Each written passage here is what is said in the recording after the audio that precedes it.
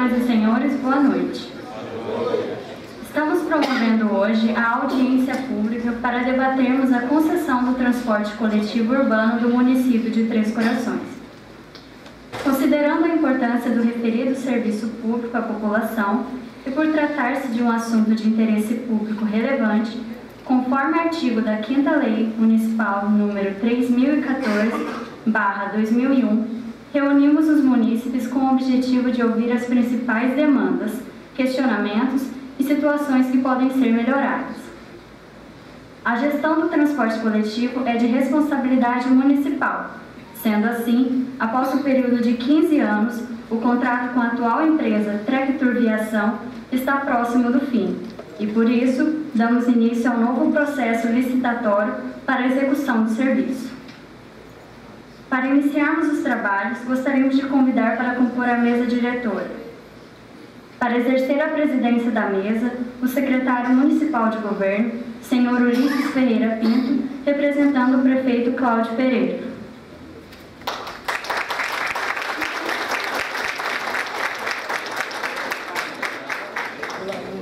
O vice-presidente da Câmara Municipal de Três Corações, senhor Williandro Wagner Gonçalves de Castro.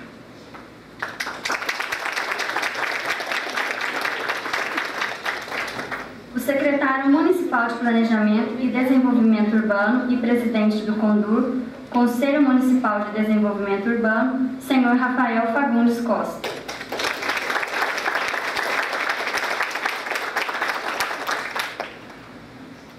Diretor de Departamento de Transportes e Trânsito, senhor Eliezer Stefani Pereira.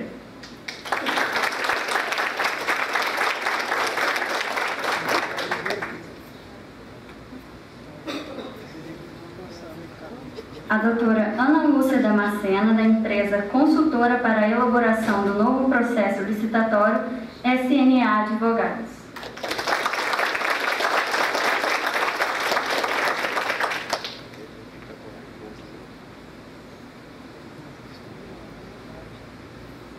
Agradecemos a presença de todas as autoridades presentes e todos que prestigiam o evento.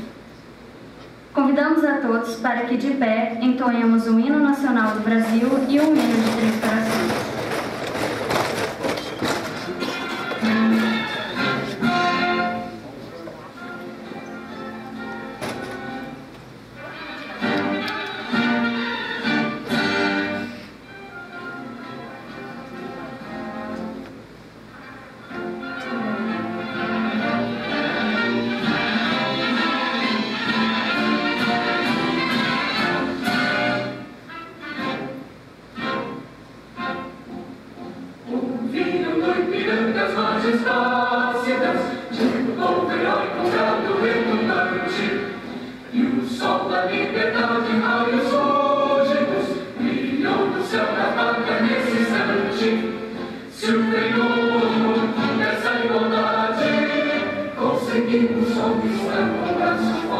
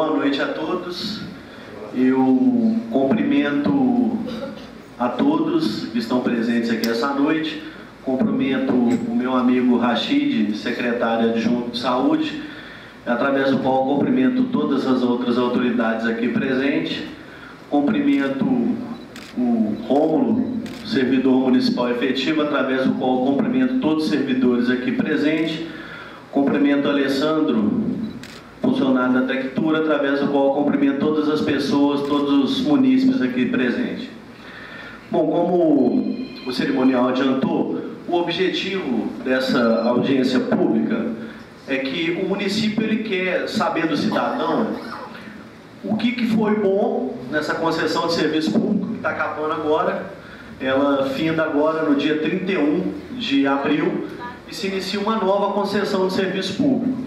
Então, a, a, nossa intenção é que a população nos diga o que caminhou bem, o que foi bom, o que precisa ser mudado, o que precisa ser melhorado nessa próxima concessão para que a gente possa colocar isso dentro do processo licitatório e tentar exigir da empresa que vier se sagrar campeã no processo licitatório para que ela passe a cumprir é, o que ficar, o que foi discutido aqui ou o que foi exigido delas. Ok? Então essa é a função principal dessa audiência pública. Essa audiência pública, ela não tem, é, ela não é de cunho obrigatório. Ela não faz parte do processo licitatório. A Prefeitura Municipal está fazendo essa audiência pública especificamente para angariar esses subsídios, para poder usar ele dentro do processo licitatório e para dar mais transparência ainda ao processo licitatório. Então ela não é uma audiência é, de cunho obrigatório faça parte do procedimento licitatório, ok?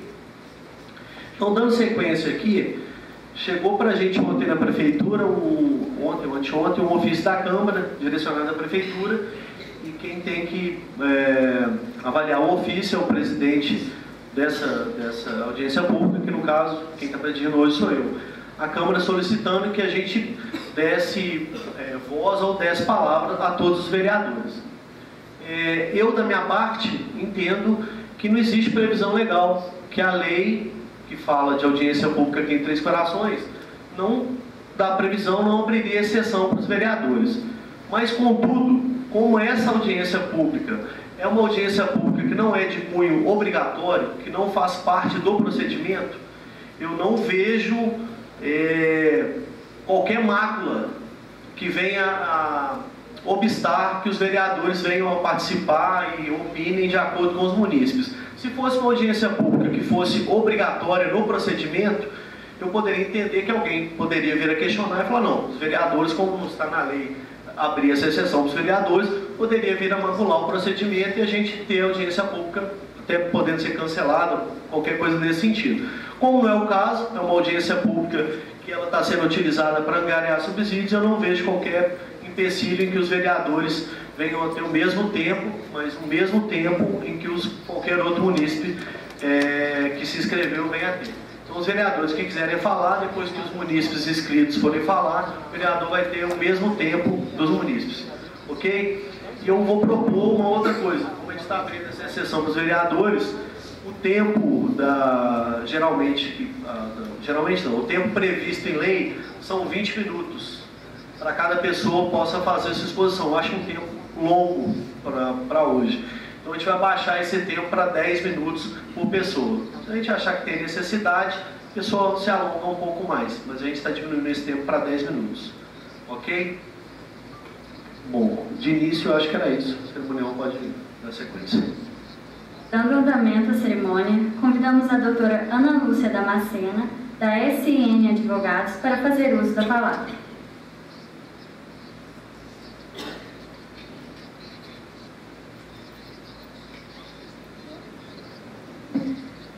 Boa noite a todos.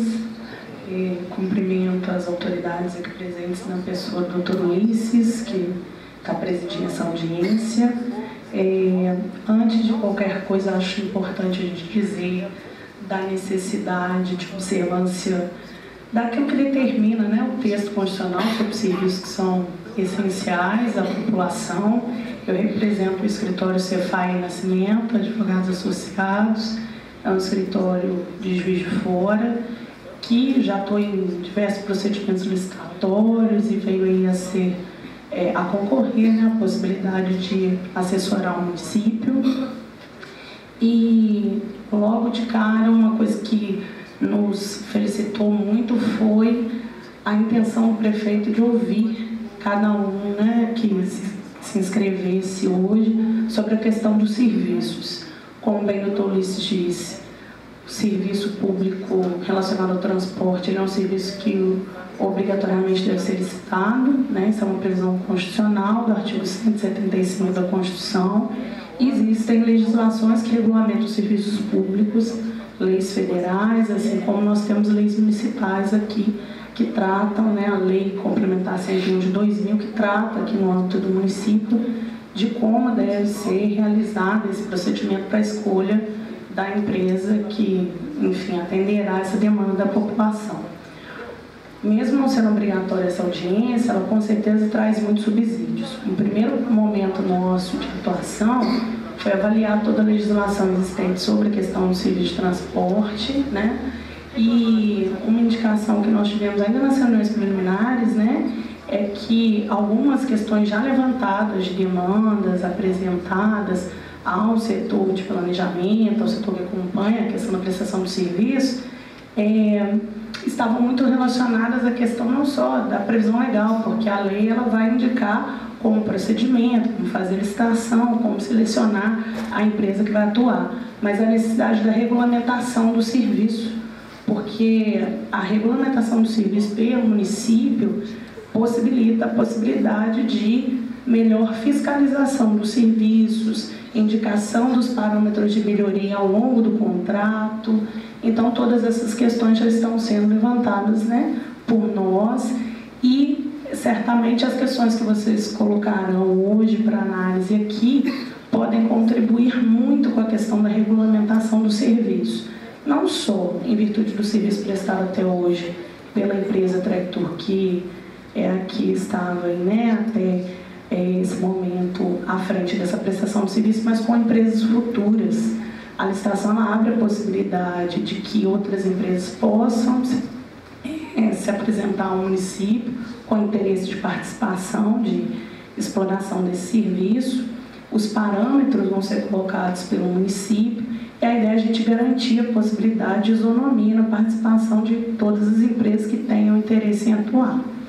Então, uma preocupação no edital é trabalhar com questões técnicas, garantindo aí, né, que haja critérios de seleção que sejam técnicos, sérios e objetivos, como diz a Lei 8666, que é a Lei de Licitações e a Lei 8987, para que qualquer empresa interessada, atendendo os requisitos técnicos, possa apresentar suas propostas. E que, num novo contrato, né, a empresa vencedora, seja ela uma empresa nova, ou seja, a empresa Tractor, que também poderá participar do procedimento concorrendo com qualquer outra, execute esse serviço a partir de um regulamento de serviço que estabelece condições mínimas, possibilidade de aplicação de penalidades, descumprimentos, melhorias dos serviços, garantir melhor o aparato de fiscalização, coisas que fazem parte né, da garantia de adequação do serviço público Hoje, meu papel aqui é não só de ouvinte, mas de relatora também, para depois levar essas considerações na hora de elaborar o edital, né? na hora de elaborar o termo técnico de prestação desse serviço, o termo de referência, que vai servir para essa proposta, ok? Se tiver alguma questão jurídica, também precisa ser esclarecida, eu me coloco à disposição, doutor Luiz, para poder responder, tá? E, enfim, que seja uma reunião é, produtiva né, a participação de cada um dos usuários aqui representados, dos servidores, dos funcionários hoje que atuam na empresa é, que presta serviço, certamente vão colaborar para melhorar, aprimorar esse procedimento. Muito obrigada. Convidamos o senhor Rodrigo Mafia Laureano, diretor-geral da Tractur, concessionária do transporte público coletivo no município, para a palavra.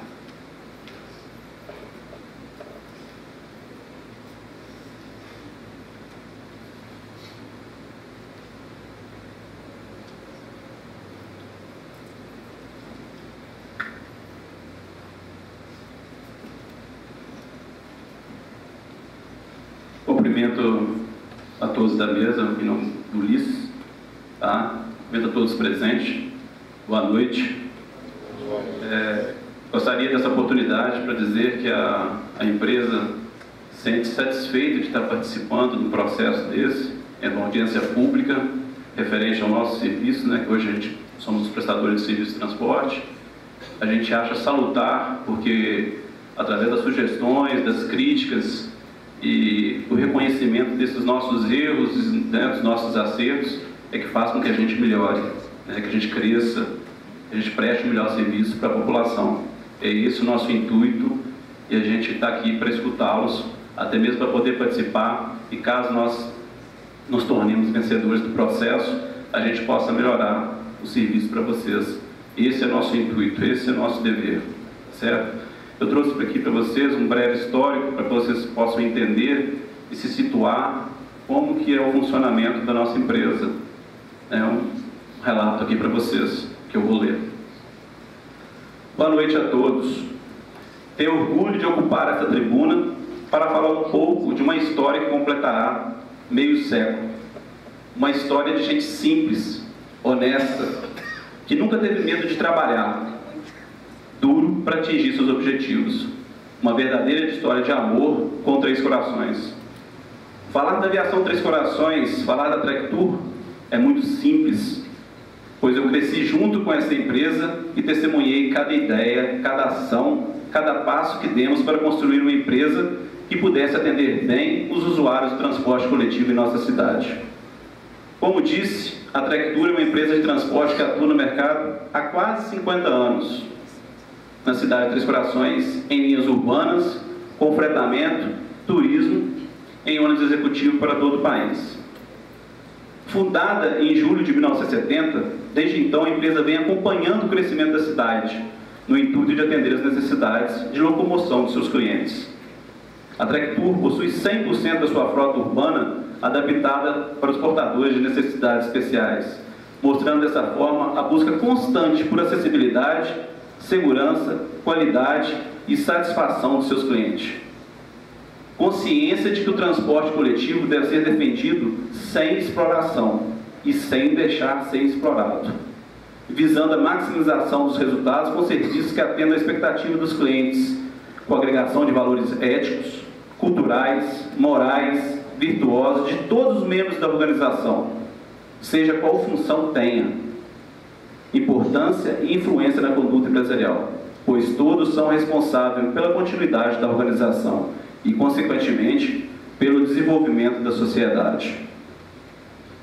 Atuando com responsabilidade socioambiental, está inserida no projeto Despoluir, que tem como objetivo principal controlar o nível de gases emitidos por seus veículos que circulam rigorosamente dentro dos padrões legais de segurança e meio ambiente.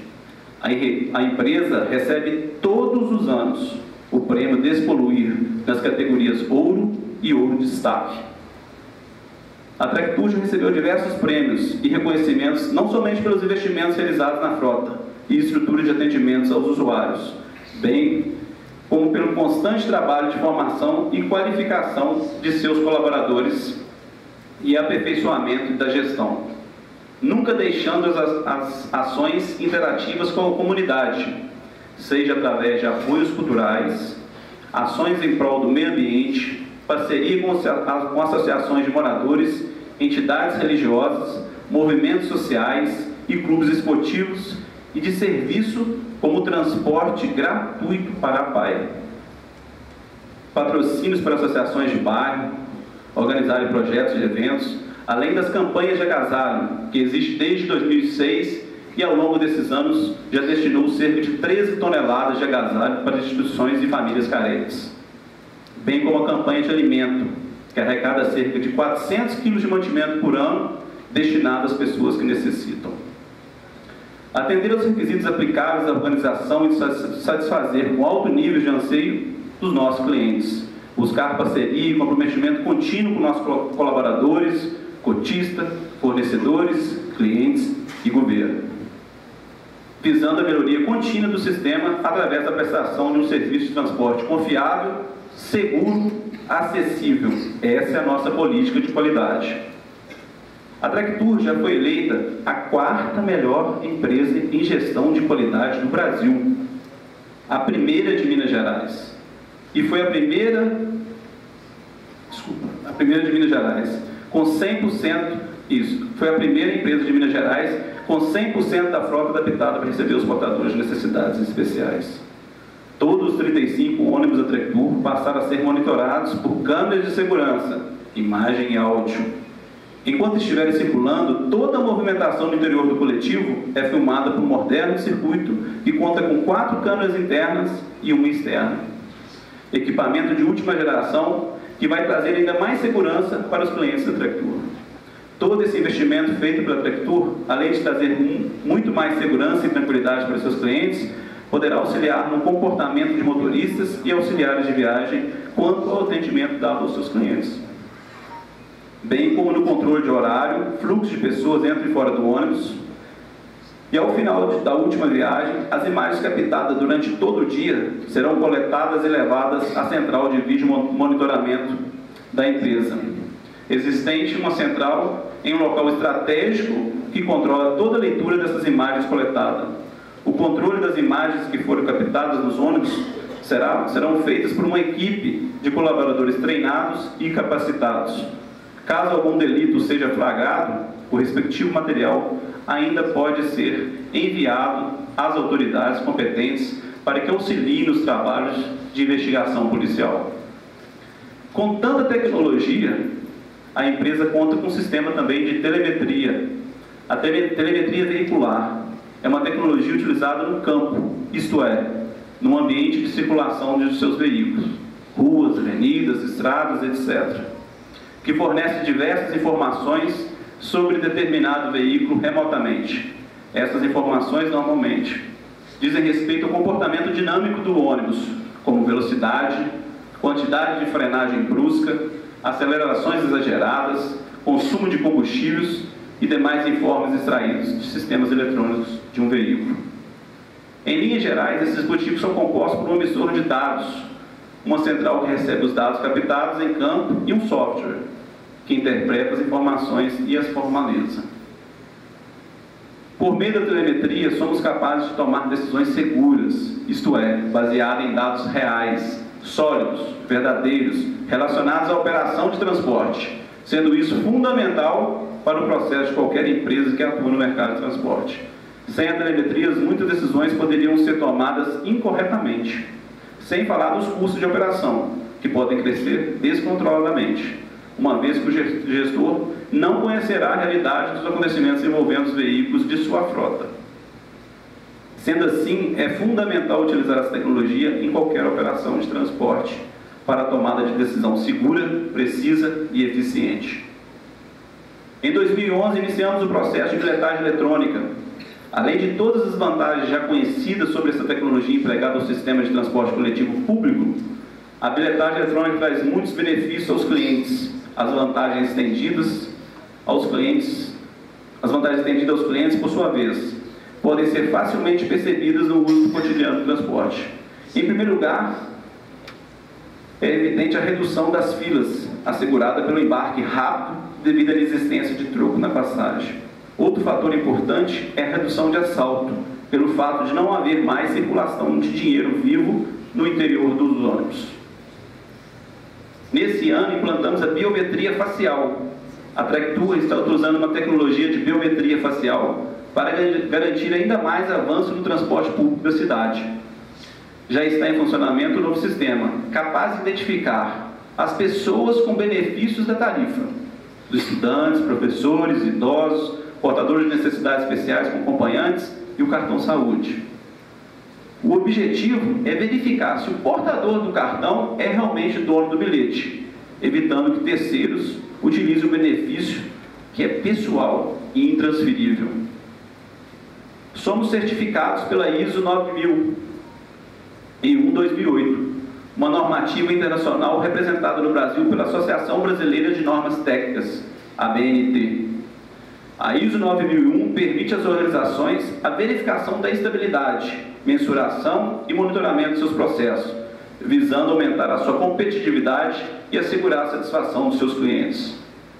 A Tractur recebeu a certificação logo na primeira auditoria, sem nenhuma não conformidade realizada pela Biro Veritas, grupo internacional terceirizados pela BNT, que é dedicada à realização de serviços de avaliação de conformidade na área de qualidade, segurança e saúde ocupacional, meio ambiente e responsabilidade social. Um dos grandes desafios que os colaboradores da Tractur tiveram dizia respeito à abordagem do processo, uma vez que não se tratava de um produto, mas sim de uma prestadora de serviço diferenciada com décadas de existências e paradigmas a serem quebrados. O processo de certificação proporcionou mudanças e melhorias na empresa, com consequente reflexo no cliente, que certamente passarão a ver a entidade com outros olhos, ou seja, padronizada, fortalecida e com maior confiabilidade. Não basta apenas obter o certificado. As normas ISO 9001 estão apoiadas em princípios como organização, metodologia, foco no cliente e melhoria contínua, entre outros que devem fazer parte da rotina de trabalho de cada um de nós. A adoção de métodos de padronização dos procedimentos, bem como a busca máxima de satisfação dos clientes, é uma tendência, uma necessidade e que não pode ser ignorada pela Trectur e pelas empresas operadoras de transporte regular de passageiros. Agora, inovamos mais uma vez, ao lançarmos com exclusividade na região o aplicativo Meu Ônibus Trek Tour, que orienta o passageiro sobre os horários de chegada dos ônibus no ponto de parada. As afirmações mostradas no Meu Ônibus Trek Tour são coletadas por aparelho GPS instalado nos veículos e usada para otimizar a frota e a mobilidade urbana da cidade. Meu ônibus Trek Tour, com ele você pode saber em tempo real a previsão de chegada do seu ônibus no ponto de parada. Assim você terá mais comodidade e previsibilidade para planejar as suas viagens. É claro que as organizações empresariais devem estar atentas às constantes transformações da sociedade e os níveis de exigências e satisfação dos consumidores. Por isso, constantemente realizamos pesquisa com usuários e já se tornou hábito a realização de reuniões com grupos representativos da sociedade. Reunião semestral com o presidente de bairro.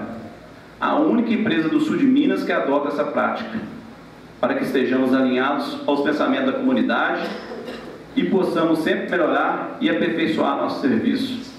Atualmente, a Trectura emprega diretamente 260 colaboradores e 70 colaboradores indiretamente, totalizando 330 famílias que fazem parte dessa história. E tenha certeza que a realização dessa audiência pública será de grande valia e trará muitas contribuições para que continuemos levando a todos vocês os melhores caminhos. Muito obrigado pela oportunidade e tenhamos todos uma proveitosa audiência pública. Obrigado.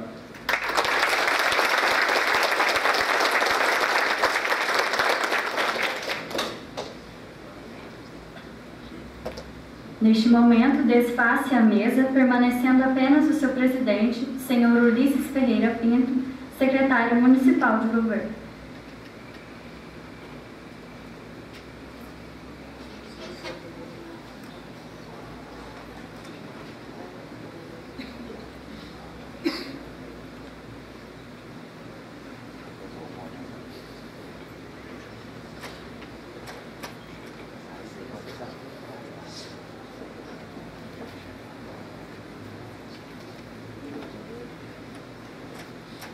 Abriremos agora o plenário para os inscritos que farão uso da palavra. Convidamos a senhora Ângela Azevedo.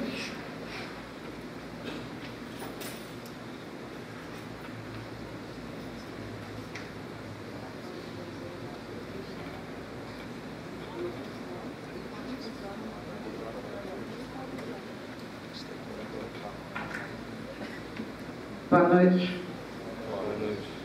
Eu, eu fiquei de primeira, mas eu não sou uma clássica usuária do, dos ônibus do Vector. Eu, as minhas considerações vão ser mais em termos do momento que a gente está fazendo essa nova licitação. Inicialmente, eu, como, como desconheço o contrato anterior, eu lamento que não tenha sido posto para divulgado para a gente ler o contrato do que tratava anteriormente para a gente comparar o serviço, né? Quem, como que a gente vai saber o que estava tratado, se foi alcançado né? É, efetivamente. O contrato é público. Sim, mas ele não foi posto na, no, na, na, convocação. Ah, sim, tá. Mas ele é público. É disso que eu estou falando. Ah, eu, eu, não tive acesso vendo a convocação, né? Isso que eu estou falando. Mas ele é público. Se você quiser, a gente pode fornecer. Sim, mas tá? devia ter sido posto, como foi da Copasa, por exemplo, que colocou o contrato é, tá minuto, enfim, uma referência. Então, sem essa referência né, que eu estou falando. Outra questão é que é, nós estamos vivendo um momento que o plano diretor, que devia estar já aprovado em, em outubro de 2016, ele se encontra na Câmara, chegou em fevereiro só, e ele está sendo analisado agora pelos vereadores. E Ou seja, ele não está nem aprovado ainda. Ele tem diretrizes já estabelecidas para transporte coletivo, para transporte, para, o plano de mobilidade que vai, deverá ser feito. O plano de mobilidade, ele, é, de uma lei federal de 2012, ele já foi sucessivamente adiado, né, um prazo para os municípios fazerem. E com esse atraso, Três Corações ainda não tem nem o início do plano de mobilidade. Está terminando agora em abril de 2019 o, a, o prazo mais recente que tinha para concluir o plano de mobilidade nesses municípios. Então, é, esse momento para fazer a, a nova licitação, a gente não tem as diretrizes que seriam as ideais a partir de todo o debate que teve até agora sobre a cidade. Então, uma coisa que, que, que seria garantir é a análise de, de dados de, que, que constariam desse plano de mobilidade, a gente não tem acesso para poder pensar. Então, é, o, o que a gente tem é uma forma de pedir para que a nova licitação, ou ela seja digamos, é, adiada para mais para frente para atender às necessidades da cidade colocadas no plano, ou então que, essa, que essa, é, essa, esse termo de referência contenha uma previsão de obrigatoriedade que, as, que, a, que a empresa que venha a ganhar aceite as determinações do plano de mobilidade, bem como as diretrizes que já estão colocadas no plano diretor para para o transporte coletivo. Bem, é, eu, eu, tenho conhecimento também de que é, existem questões tarifárias né, que, que são previstas tanto na lei federal como agora né, nessas diretrizes né, do plano diretor, que visa sempre o benefício para a população de baixa renda. É, lamentavelmente, a gente também não tem as ações já definidas que, são, é, que seriam prioritárias né, para a implantação dos projetos que o plano certamente vai tratar. Mas uma coisa que eu penso é na questão da integração físico-tarifária das linhas. Por exemplo, alguém que mora em um lugar e que tem que pegar dois ônibus para ir para outro lugar, que ele não seja penalizado pelo tempo né, de, uma, de uma coisa para outra, que não seja computado como dois, é, duas tarifas. Né? Isso é uma coisa que pode se pensar. Outra coisa que o plano fala é, é nessas diretrizes é a questão da introdução de micro-ônibus no centro histórico.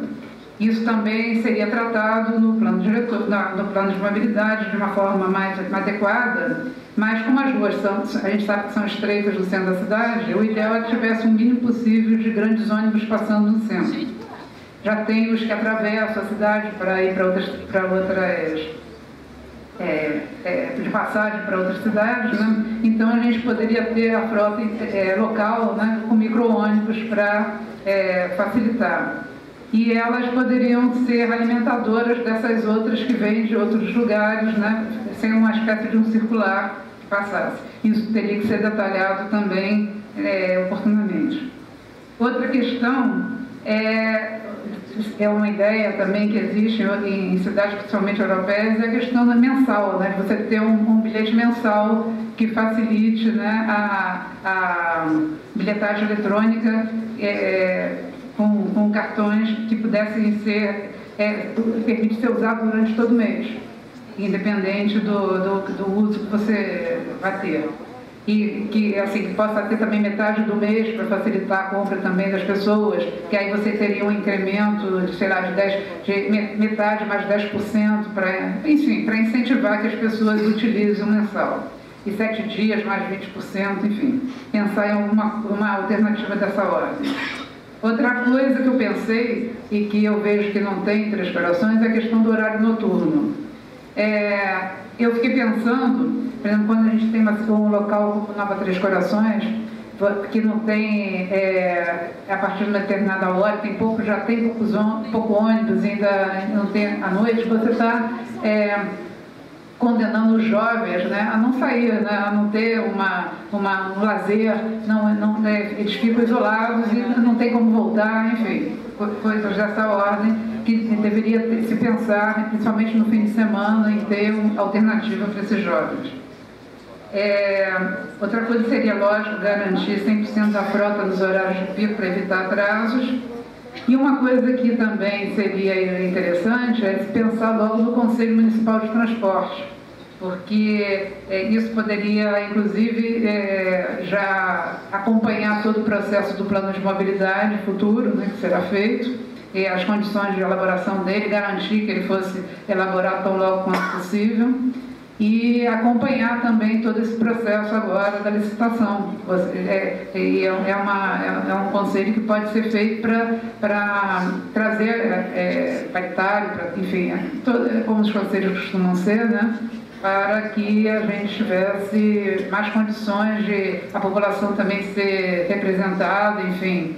E uma coisa que, que é lamentável também na questão de não ter ainda acesso aos dados é justamente é, que no, nas diretrizes né, do, do, plano fala em realizar um estudo por instituição independente para calcular a tarifa e os custos do sistema de ônibus com o intuito da, de, de, garantir a modalidade, modalidade, a modicidade desculpa, tarifária e o equilíbrio econômico-financeiro dos contratos. Então, a gente não tem esse, esse estudo, é, é a abertura de, desses valores. Né? Então, é, nós, eu volto a uma coisa que eu sempre falo, né? Quando a cidade se expande, quando ela está com tantos lotes vagos, quando ela está com tanto espaço é, pouco ocupado, e a gente é obrigado a ter linhas de ônibus para atender esses lugares, né? você está tá aumentando o custo da, da tarifa. Então, isso tudo é uma coisa que a população tem que ter clareza para poder, é, na hora de reivindicar também a, a, a frota né, adequada, a, o itinerário, nada disso a gente tem de dados hoje. Então, é, eu lamento né, que esses dados não, a gente, a gente não tenha mais dados para pensar isso melhor, e é o que eu, que eu posso imaginar né, que, que fosse dado como informação para que a gente pudesse contribuir melhor para essa urgência pública. Então, para mim, eu acho que haveria a necessidade de se aguardar mais informações né, para até pensar numa, numa, é, num nível de exigência maior para os contatos. Era isso que eu tinha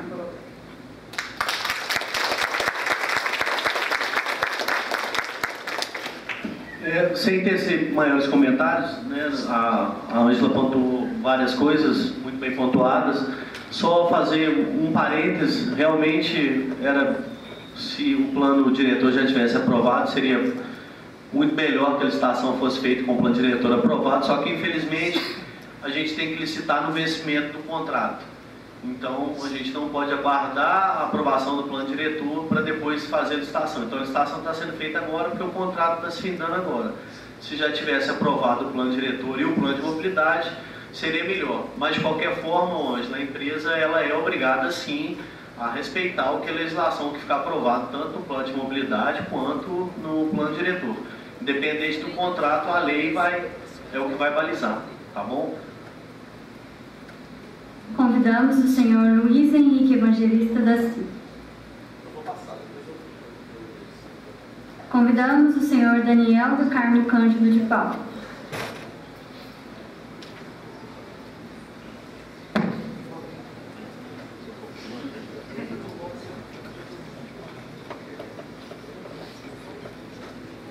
É, boa noite. Primeiramente, gostaria de dizer que eu não estou aqui como especialista, não estou aqui como alguém que entende realmente de política, mas eu estou aqui como cidadão, um cidadão discordiano, para reclamar e dar algumas sugestões, digamos assim, sobre o que, eu penso. É, eu uso os ônibus da empresa Tractor desde que eu nasci, desde sempre eu uso. E o que, que eu posso dizer? Parece que antigamente era melhor. Aí fala, ah, mas quando a gente é criança parece que tudo é melhor. O que, que eu posso dizer que parecia melhor naquela época? Eu sou do Gilon, e no Gilon os ônibus passavam de 40 em 40 minutos. Me parece muito tempo? Parece. Porém, você sabia o horário do ônibus. Era de 40 em 40 minutos. E aí ele depois de um tempo começou a mudar. Surgiu, de repente, uma mudança e de repente um ônibus, um ônibus passa de 20. Aí já é bom. Ah, um ônibus vai passar em 20 minutos. De repente outro já era 40. Aí o outro era 50. E isso já foi ficando pior. de repente também começaram a não ter cobradores. E aí você percebe que, embora tenha esse incentivo que é muito bom para que as pessoas usem o cartão, ah, vai ser 10 centavos barato, vai ser 10 centavos mais barato. Eu gosto desse incentivo, eu acho muito legal. Porém, a questão é, mesmo com esse incentivo, o povo ainda usa dinheiro. Tem pessoas que não são acostumadas a usar cartão, não gostam dessa tecnologia. Tem pessoas que não são acostumadas a usar ônibus, então quando usa precisa de dinheiro. Eu, às vezes, infelizmente. E se você não tem um cobrador, tudo fica na mão do motorista. O motorista tem que cuidar de dirigir, o motorista tem que cuidar de pegar troco. É, será que ele vai ter o troco ali no momento? Porque às vezes eu já vi um, por exemplo, um cobrador não tem um troco e de repente ele fala numa padaria para conseguir dinheiro. Aí o, aí o motorista tem que fazer isso toda vez os ônibus já estão atrasando. Teve um tempo, se eu não me engano, uns dois anos atrás, mais ou menos, que todo ônibus estava atrasando. E um atraso muito grande. Eu lembro de um atraso, eu estava esperando, acabando a faculdade, eu sou psicólogo, quando eu estava fazendo a faculdade, teve um atraso de, se eu não me engano, perto uns 40 minutos. E teve vezes que o ônibus não passou. E a gente descobriu só depois, ninguém avisou a gente, a Tractor não avisou, ninguém avisou. De repente alguém ficou sabendo, porque alguém ligou para alguém e ficou sabendo que, na verdade, o ônibus fez um outro caminho, o ônibus não passou e a gente não, não tem explicações. A gente não tem alguém que explique pra gente o que está acontecendo. Então, assim, o que eu vejo é que tem muita coisa que parece que está sendo escondida. Tem muita coisa que está acontecendo. Eu conversei com cobradores e parece que muita coisa está acontecendo e não está sendo dita pra gente, não está sendo dita pra população. E então, o meu negócio é, não é que eu vou falar assim, não, a Três Corações, a prefeitura não deveria contar com a Tractur. Na verdade, não é uma questão de não contar ou não, porque a Tractur, querendo ou não, é um serviço bom para gente. Só que é um serviço que, tem, que deixa a desejar, que poderia ser muito melhor. E não dá para a gente ficar aceitando só porque é que nem se você aceita uma empresa que não age direito como deveria agir, só porque ela também faz um bom serviço, é que nem se aceitar um político que roubou, mas fez. Não se deve aceitar alguém que faz merda só porque ele fez uma coisa boa pela gente. Você tem que ter noção de que a gente merece, pelo dinheiro, todo imposto que a gente paga, a gente merece uma coisa pelo menos um pouco melhor.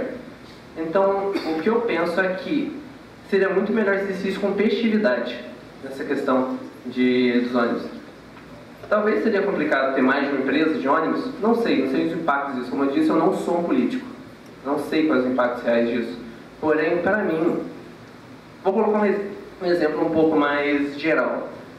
Quando a Uber chegou, os taxistas não gostam muito de, do, do, povo do, do Uber. E eu não vou discutir sobre isso, mas a questão é, quando o Uber chegou, ele foi rechaçado.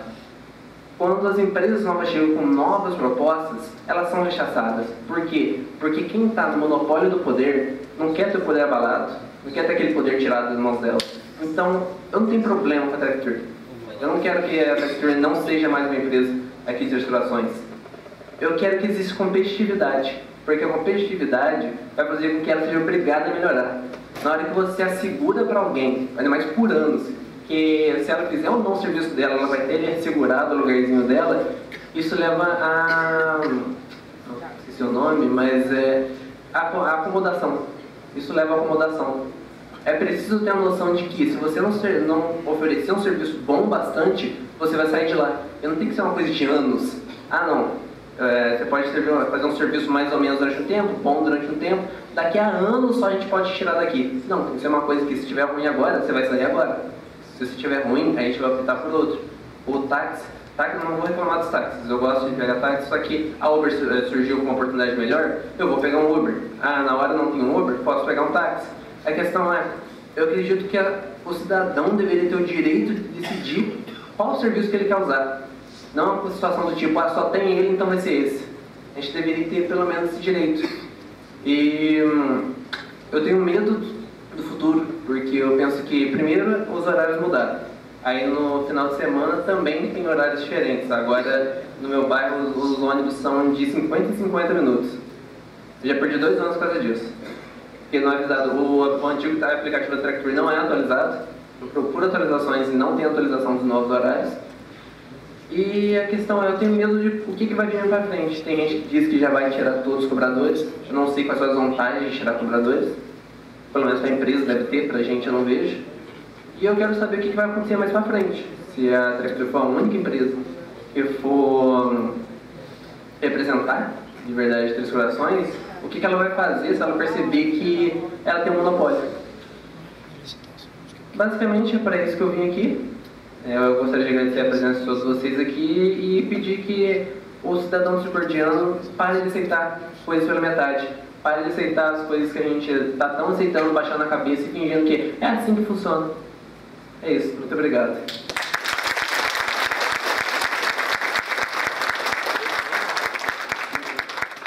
Como é que você chama? Daniel. Muito obrigado, Daniel. Convidamos o senhor Luiz Henrique Evangelista da Silveira.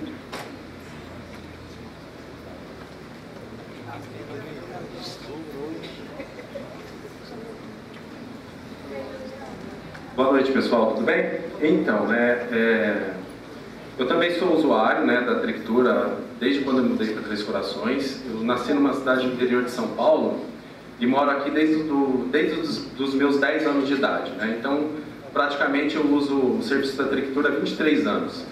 Eu vi a Trictur sair né, daqueles ônibus antigos, quadrados, aqueles Mercedões né, praticamente bem antigões, e para ter uma frota renovada, a gente acompanhou todo esse processo.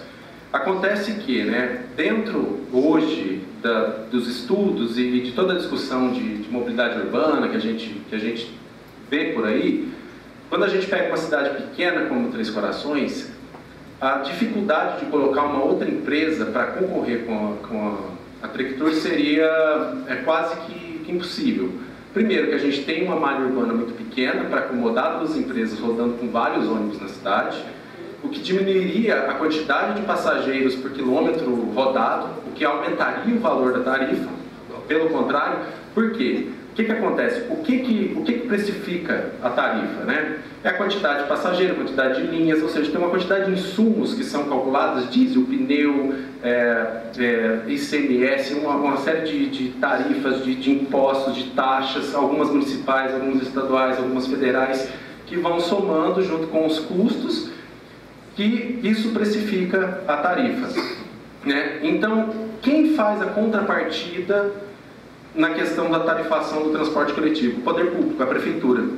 É a prefeitura que é responsável por essa contrapartida. A, a empresa fala, não, eu preciso de R$ 3,90. Não, a prefeitura recalcula em cima desses preços, em cima desses insumos que são usados para tabelar e precificar uma tarifa pública de transporte e fala, não, você consegue rodar 3,60, é esse preço que a gente vai chegar a um acordo, vai ter uma, uma série de audiências, uma série de reuniões, digamos que fecharíamos a 3,65, por exemplo.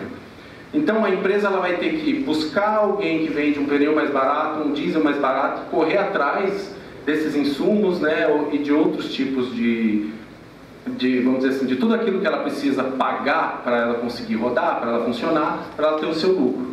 Então, o fato da gente colocar uma outra empresa aqui, na realidade, atrapalharia, né, o, vamos dizer assim, o nossa, a nossa questão de mobilidade. A gente tem que se atentar que é, a gente tem um problema muito sério em Três Corações, que é essa coisa de expandir a cidade sem, uma, sem uma, uma um pensamento estrutural, um pensamento de planejamento bem elaborado. Por quê? Né, nós notamos que temos uma, uma especulação muito forte nesse eixo universidade, né, Unincor é, Azeredo, que ali está tendo um, um, grande investimento do poder público, inclusive, a prefeitura foi para lá, o fórum vai para lá, a rodoviária, eu ouvi dizer que vai para lá, não sei quem vai para lá, e aí a gente vai jogando todos os serviços da cidade para aquela região, e aí você pega Jardim Paraíso, Santo Afonso, Cotia, que tem uma quantidade absurda de moradores, e afunila eles todos para se o cara quiser tirar um documento, ele vai ter que entrar no ônibus, enfrentar todo esse trânsito, passar pela cidade inteira para conseguir, às vezes, uma coisa que ele resolveria se ele, se ele fosse a pé para o centro da cidade, sabe? Então a gente vai, vai condicionando algumas coisas as tarifas ficarem mais caras. Um novo bairro que surge sem pensar direito, coloca meia dúzia de pessoas morando lá, a gente tem que levar transporte. É um ônibus que está andando com poucos passageiros. Para suprir essa, essa questão, as, as linhas que, que, que, andam com mais passageiros, que tipo Santo Afonso, Jardim Paraíso, é, a linha eu sou usuário, eu vejo, né? A linha 1, 3, 4, 7, a 20, de vez em quando, são ônibus que andam muito, muito lotados, em detrimento de alguns ônibus que andam com pouquíssimas pessoas. Então isso vai, eles precisam fazer que essas linhas paguem as, as outras. Então é uma balança. É, a gente tem que entender, a gente tem que cobrar da prefeitura para fiscalizar esse serviço.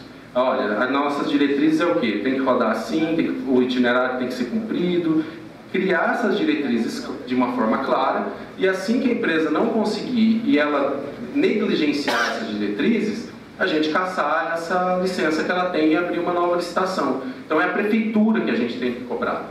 A gente tem que cobrar e cobrar sério, assim, participar das, das reuniões de, de, de aumento de tarifa, ir atrás. Eu já participei de algumas polícias. Em 2013 a gente conseguiu voltar o preço da tarifa, eu e mais algumas pessoas, né? A gente a tarifa ia subir, a gente conseguiu, se não me engano, um, um, a gente conseguiu regredir 40 centavos ou 30 centavos no valor de tarifa. Então acho que é interessante a gente saber onde buscar. Tinha, a gente tinha um contador na época que estava com a gente, que, que, ajudou a gente a formular a planilha. Chegamos junto com o pessoal da Trectur, batemos planilha com planilha até chegar, chegarmos num acordo que a gente pensou, não, esse é um valor interessante para a tarifa, conseguimos prorrogar o aumento ainda dessa tarifa para mais um tempo, cancelamos um aumento, prorrogamos ele, e aí a, a empresa rodou da mesma forma, ela conseguiu manter seus serviços, então, quando a gente vai vendo esses problemas, é o poder público que a gente tem que acionar, porque é ele que fiscaliza esses, esses, esses serviços. E onde que estão essas diretrizes? No plano diretor e no plano de mobilidade. Ambos é, estão atrasados, né? O nosso plano de mobilidade já tinha, teria que ser feito há muito tempo. O, isso é uma exigência federal, inclusive, para liberação de verbas para o setor. Né? Às vezes, nossa, eu quero implementar uma série de pontos de ônibus, eu quero fazer uma nova política pública, repensar todo o meu sistema de mobilidade de Três Corações. Eu quero entrar isso onde? Eu tenho que entrar no, hoje, agora, o Ministério das Cidades foi extinto, o novo Ministério da Infraestrutura. Ah, eu preciso entrar com esse projeto, o Ministério da Infraestrutura. Tem plano de mobilidade? Não tem, então a verba já não vem.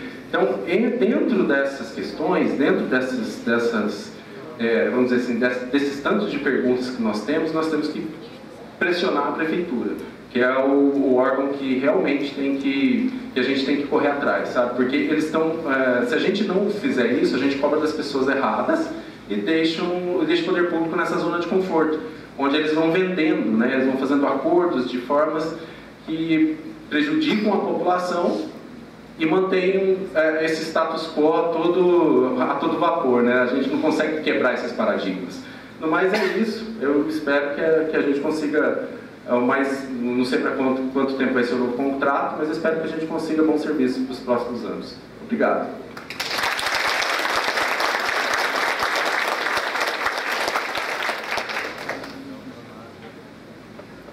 Convidamos o senhor Mateus Elias de Paula.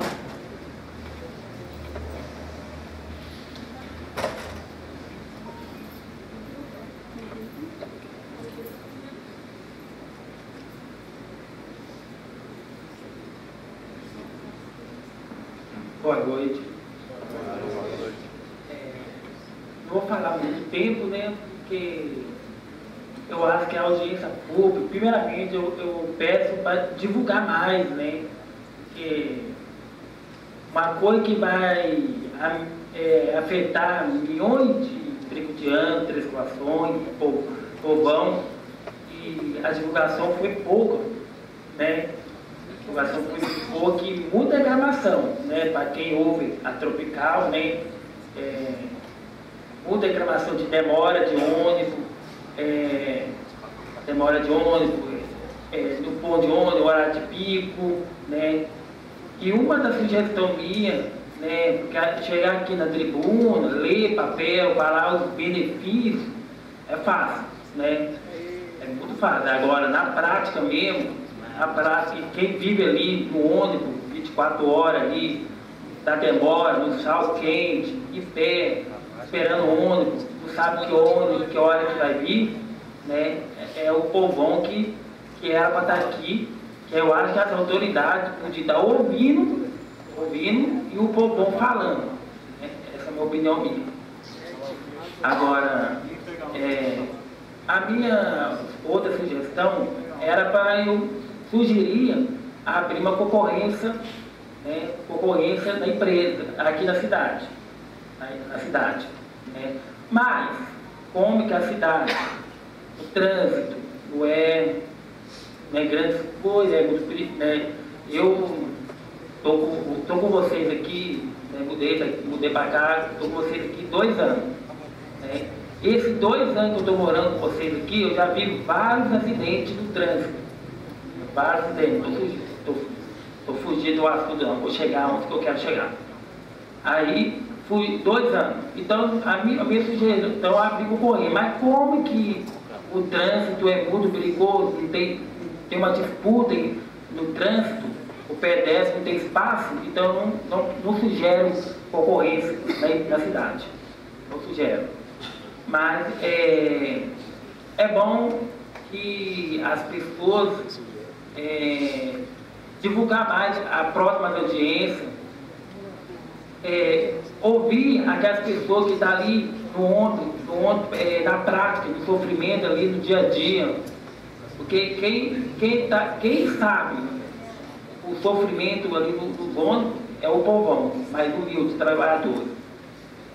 E a outra sugestão minha é que é, nos, a, a, cidade não oferece oportunidade de emprego. Não oferece oportunidade de emprego. A única cidade que o, o povo de Três Corações poderia arrumar emprego, nós arrumar emprego, graças a Deus eu estou trabalhando, mas é, é vagia. É. Mas não pode arrumar emprego lá porque o ônibus lá foi 40, 40 minutos, muita demora, e a passagem lá é 8,50, acredito eu. Gostaria de sugerir abrir uma, é, criar uma outra opção para magia. É uma outra opção. Né? É, porque a passagem é cara, quem vai pagar praticamente 20 reais de volta. Aí além de não ter oportunidade de emprego na cidade, além de ter oportunidade na cidade, não, não é, a única cidade que poderia arrumar emprego não vai por causa da passagem. É muito caro. Né? Agora, outra sugestão minha também é sobre o quadro de horário. O quadro de horário. O aplicativo é bom? É. Né, de, a maioria tem celular. Mas infelizmente as pessoas mais antigas, as pessoas que têm acesso, muita gente não tem acesso a redes sociais, WhatsApp, YouTube, né? Outros mais aí é aplicativo, eu fui, vou sugerir colocar quadro de horário é dentro do ônibus. Né? A, de preferência ali perto do comparador, o horário do dono direitinho, né? É, saber o, horário que vai passar, que vai sair do ponto de ônibus, que vai chegar, é uma sugestão minha, né? E o cobrador. Gente, por experiência própria, eu vi de uma cidade apesar de uma cidade grande, eu vi de Belo Horizonte, né? Lá acabou os cobradores, praticamente, a BH Trans acabou, é, por experiência própria. Não acaba com os cobradores na cidade. O trânsito aqui já não é, é já é um, um trânsito movimentado, muito perigoso. Né? E dois anos que eu estou morando com vocês aqui, eu já vi vários acidentes. Imagine vocês ter mais tempo aqui. Quantos acidentes você já viu? Então, se acabar o cobrador da cidade, depois que acabou o cobrador de Belo Horizonte, já aconteceu vários acidentes, porque os motoristas ficam super carregados. Tem de focar no volante, tem de focar no, é, lá atrás, tem de cobrar a passagem. Então, é um serviço para uma pessoa só. Então, por experiência própria, eu sugiro não acabe com o cobrador que é, pode é, acontecer é, coisa grave lá na frente com a população. E é só eu agradeço a oportunidade, né? muito obrigado pela oportunidade. Agradeço.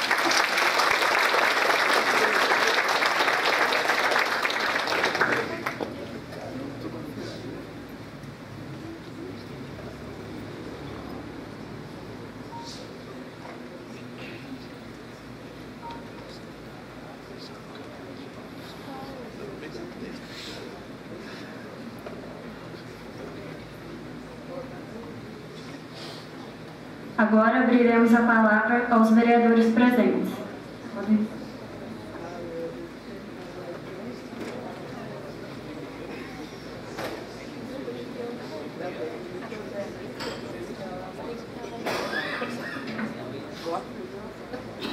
Boa noite a todos.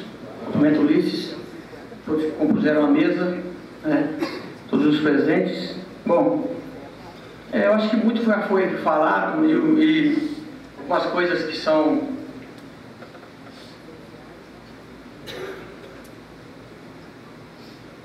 uma coisa que eu tenho a acrescentar. Primeiro quero parabenizar o Daniel, que foi bem, bem fundo, e é isso que nós, que nós queremos para nossas três corações. É, queremos que as coisas funcionem. Queremos que o relato do proprietário da empresa seja o que a população está, está sentindo no dia a dia. Quando ela espera no, no ponto de ônibus, quando ela entra no ônibus para pegar, para pegar, para ser transportada, é, quando ela entra e consegue fazer isso com segurança, tudo isso a gente quer ver. Né? E isso é a responsabilidade nossa, poder público. Parte da Câmara, em fiscalizar, e grande parte da Prefeitura, que é a, a que tem, que está diretamente ligada à fiscalização do transporte público. É, eu quero falar de algumas ações que eu fiz desde que eu entrei como vereador. É, uma coisa que eu acho que é importante e que a população é, clama muito e pede muito é a respeito do preço. Acho que um dos maiores agravantes e, e, e o que mais faz a população mais carente sofrer é a questão do preço.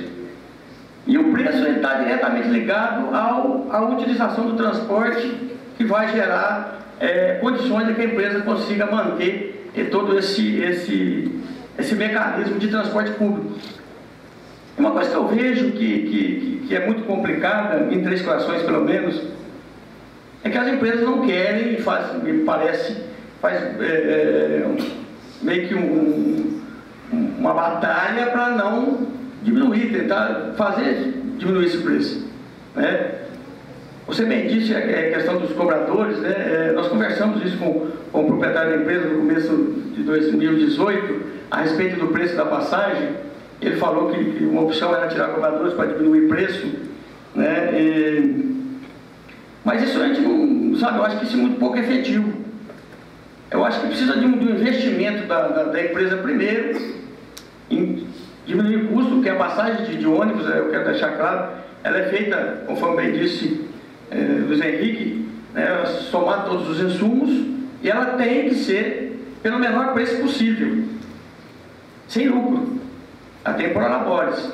Tem pagamento de, de, de, de motorista e tem pagamento de, de, de cobradores, pagamento do pessoal que trabalha na empresa. Mas ela não tem lucro. Ela é chuta, enxuta, seca. Então o que gastou é o que o povo tem que pagar. E não é isso que a gente vê. Né? Não é isso que a gente vê. Pelo menos eh, eu entrei com, nós entramos com uma ação, eu, o vereador Dinho Paganeiro e o vereador Ricardinho, no Ministério Público, já está fazendo um ano, infelizmente, é, a justiça é lenta, é, a respeito do preço, quando foi para 3,80. Começou com 4,5, depois chegou-se a 3,80. E nós produzimos uma planilha que, que, que colocava o preço em 3,65. Só que quem tem que fazer isso é a prefeitura. Por que, que a prefeitura não chegou na mesma planilha nossa? Nós utilizamos é, é, os indexadores e, e, fomos atrás de algumas informações e conseguimos chegar a isso. A prefeitura tem muito mais mecanismo para isso. Esse ano eu fiz um requerimento à prefeitura perguntando da planilha de custeio de preço deste ano, de 2019. A prefeitura me respondeu que não tem a planilha. Não tem a planilha.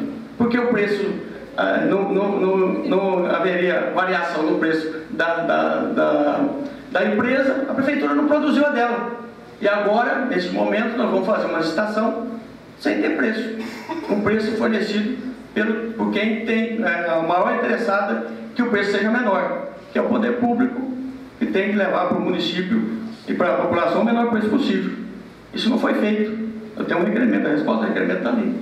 Por que, que não foi feito? Então agora venceu-se o prazo e vamos fazer uma licitação e nós não temos, o poder público não tem a sua planilha de preço. Como que ela vai precificar? Como que ela vai fazer isso? A, a, a Ângela bem falou, eh, eu também dou a sugestão de, de, de, de contratarmos uma empresa para fazer essa precificação do preço, para que a gente consiga fazer um preço mais justo, né, que eu acho que tem, que pode ser mais baixo.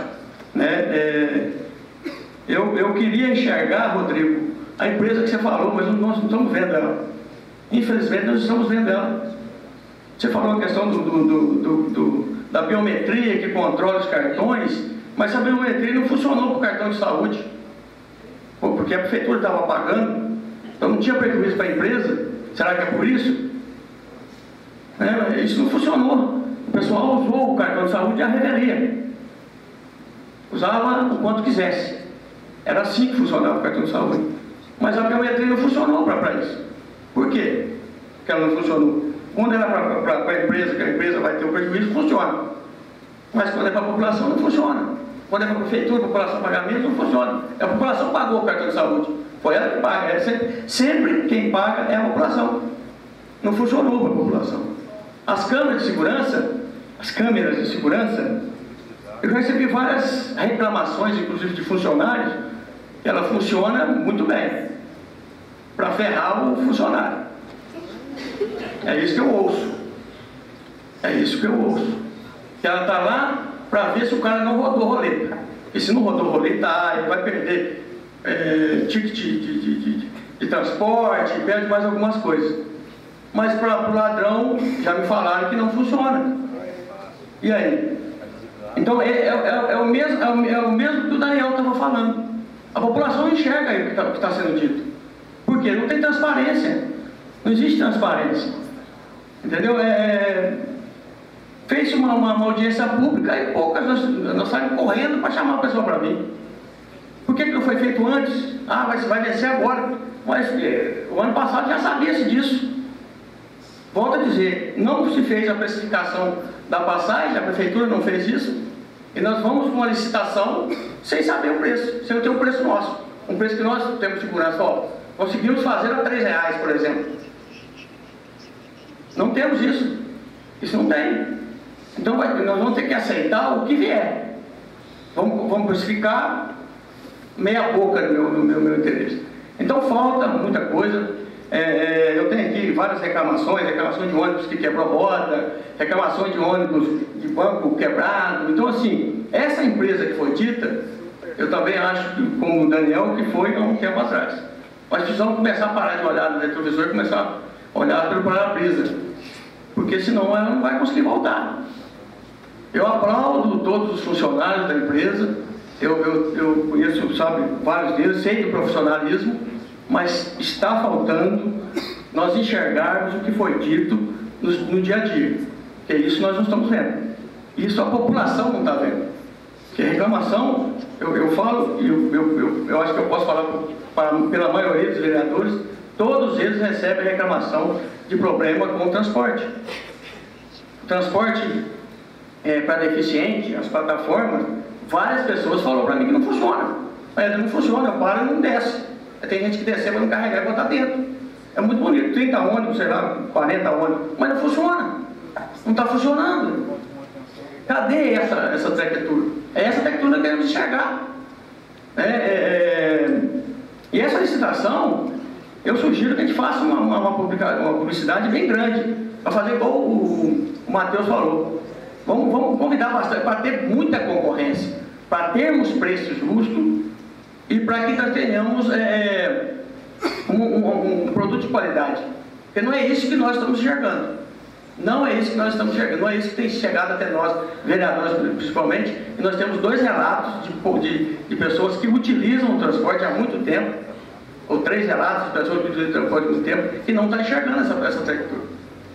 Nós queríamos muito que ela ficasse e queremos que fique, mas precisamos enxergar uma arquitetura diferente.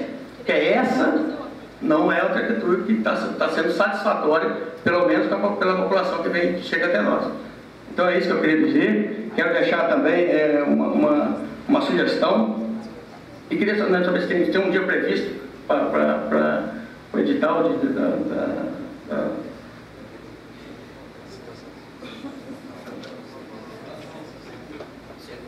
Não, não tem dia não. Mas é, é o próximo mês. Já venceu, é? Ah, então tá. Vai comunicar isso aí, a, a Câmara também, que ela vai ajudar na comunicação disso. para que tenhamos essa concorrência que é necessária. Ok? Então é isso que eu queria falar. Muito obrigado. É um abraço a todos.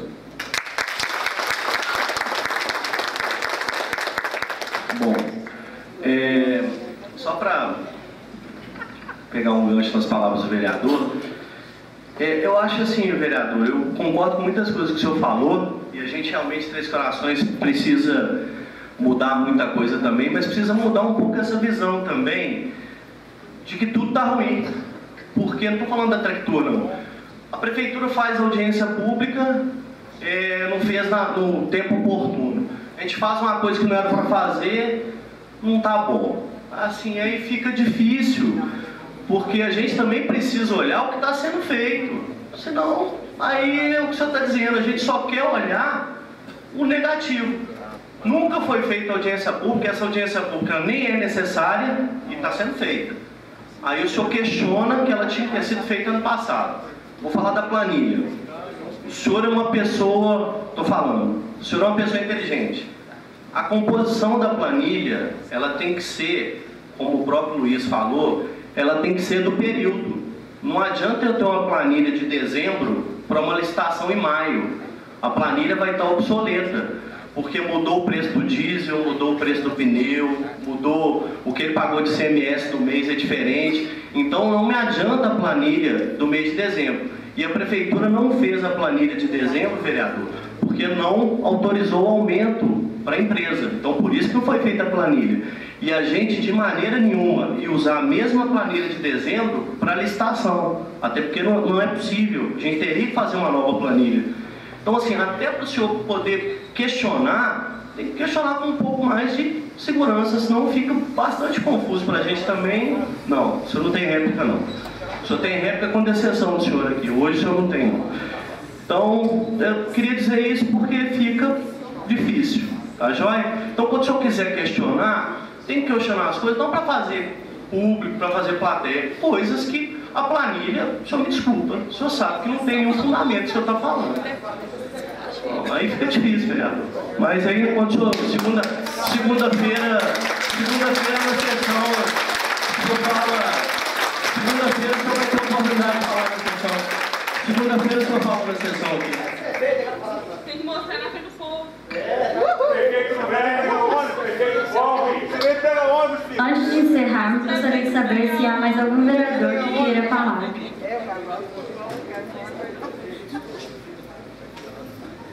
Quantos anos a minha Mercedes? É, boa noite a todos. É, primeiramente, eu gostaria de agradecer a presença de todos que vieram aqui. Isso é muito importante, essa participação da população. É, falando sobre a Ângela, eu até achei interessante a palavra da Ângela falando que poderia, se pudesse aguardar mais um pouco, né? Até pela questão do plano de mobilidade urbana e a questão do, do, do plano diretor. Até porque para que a gente pudesse colocar tudo junto para a gente ver as diretrizes certas para que, que a gente pudesse colocar na forma mais correta para o município.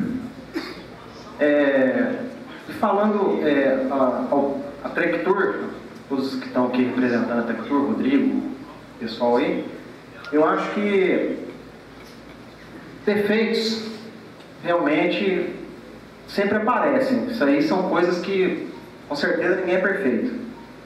Mas sabemos que a empresa está há muitos anos em Três Corações. Eu não estou aqui para puxar o saco da empresa e nem, nem pedir para que viesse outra empresa. Eu achei interessante o, o Daniel ali, Daniel, né? Achei até interessante o Daniel falar que realmente é bom ter uma concorrência em Três Corações. Isso é muito importante. Mas, é, como é que você chama mesmo? Luiz? E o Luiz já deu outra opinião, achando que realmente a cidade, pelo porte da cidade, o tamanho da cidade, talvez iria ficar meio difícil pela quantidade, né? Então, eu, eu, no meu modo de pensar, eu acho que a empresa tem que rever os seus conceitos, os seus defeitos e colocar mais qualidades para que, que possa é, ter um, um, um, transporte melhor nessa cidade. Eu sou um usuário da, do ônibus desde quando praticamente nasci também. É, sou, sou, é, morava no Odilon Resende, agora estou morando em outro bairro, mas há 15 anos eu usei o ônibus do Odilon Resende. E lá no Odilon Resende, o que, que acontecia? Lá, é, o ônibus número 6 chegava, quando passava poucos minutinhos já chegava o, o, ônibus 10. Então ficava muito perto um do outro e às vezes de repente tinha dia que um ônibus ia vazio e o outro ia, ia cheio. Então, tipo assim, que tivesse mais, tipo assim, um, um, um critério assim, para que pudesse dividir melhor esses horários, para que. Porque tem gente que às vezes chega no ponto, às vezes chega atrasado, às vezes está atrasado para ir para o serviço, aquela coisa toda, e fica complicado às vezes para a pessoa, perde o ônibus, às vezes tem que esperar um tempão, é, que eu me lembro, era uma média de 40 minutos, aquela coisa toda. Então que pudesse estar revendo essa questão e também para poder estar ajudando mais a população nos horários. E a questão da, da, da, do, da taxa que é cobrada, né, do transporte, que pudesse rever uma forma legal aí para poder ajudar a população aí, porque a gente sabe que tem gente que pega dois, às vezes três ônibus para vir trabalhar, é um sacrifício, pudesse estar olhando isso aí com carinho. A gente pode ver que lá na Nova Três Corações, lá o pessoal que está morando na Nova Três Corações, o bairro é bem longe, entendeu? E a gente sabe que é um pessoal bem carente que mora lá. E a gente sabe que tem gente lá que às vezes tem que pegar dois ônibus para ir trabalhar, tem gente que quer aquele sacrifício, tem gente que não tem nem condição de pagar um ônibus, às vezes vem a pé para casa, né? Então que pudesse estar dando uma olhada nisso daí também. É, queria falar a polícia também, representando aqui a prefeita, aqui a prefeitura, que pudesse dar uma olhada também nessas faixas de pedestre, e pudesse manter mais a cidade mais assim mas pintar certinho, manter certinho aquela coisa toda, porque a gente sabe que às vezes de repente o pedestre chega naquela faixa pedestre, a faixa está até meio apagada e tudo, e, e às vezes de repente é, a gente sabe que em, em alguns estados, aí, igual Brasília, tem projeto lá que o pessoal estende a mão, aí o pessoal respeita, para o pedestre passar, para que não venha acontecer mais acidentes né, na cidade. Então eu, eu faço parte do, do plano diretor com o Éder e o Maurício. Então a gente está dando, deu entrada a duas reuniões, a gente está dando uma olhada e tudo, mas que, que pena que, igual o Ulisses falou que não tem como, né? Mas que pena que se pudesse, tivesse como aguardar para poder encaixar tudo certinho, para pudesse, pudesse ser feito da melhor forma possível, né? Então eu queria assim até agradecer porque o pessoal, bastante gente veio aqui participar hoje, o pessoal está é, cada um está explanando aquilo que, que acha que deve ser feito, mas eu queria perguntar assim, é, para a prefeitura, através do Ulisses, e, para a Trectur, é, se vocês têm uma ouvidoria lá que, que escute esses, essas reclamações, né, que não são reclamações, às vezes são, são pedidos, né, são, falam que são reclamações, mas são pedidos da população, é, que pudesse responder depois. E eu queria agradecer a todos que estão aqui, porque eu falo assim, às vezes não é falando bonito que a gente consegue é, falar tudo que a gente quer é, explanar para as pessoas. Obrigado, viu gente?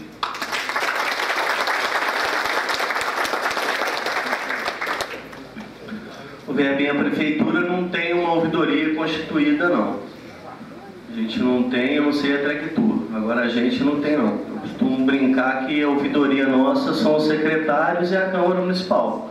É o que a gente ouve de vocês aqui e ouve do próprio secretariado, dos funcionários e dos servidores. Mas uma ouvidoria formada mesmo, com ombudsman e tudo, a gente não tem não. Tá bom? Passamos a palavra ao senhor Ulisses Ferreira Pinto, secretário municipal de governo, para dar as palavras finais. Eu vou convidar a doutora Ana Lúcia para ela poder fazer o encerramento dela, depois eu, eu falo, tá bom? Acho que ela fez não. É, pode secretário para falar, tem que falar a população, tem que se traz o Brincadeira retomando aqui a palavra, só para fazer algumas considerações, é, exatamente sobre as falas né, que a gente teve aqui. Eu acho que algumas coisas a gente pode, de alguma maneira, esclarecer e mostrar que o processo é um processo de colaboração mesmo. É muito é, importante que haja esse espaço de fala de vocês, não só aqui na frente, porque às vezes o usuário do serviço, uma pessoa que tem um relato, que é, precisa da utilização do transporte, às vezes tem até alguma dúvida em relação a como que é o procedimento, fica até às vezes envergonhada né, de vir aqui à frente falar. Na divulgação da audiência pública, ela foi feita com 15 dias de antecedência, que é o que determina a legislação.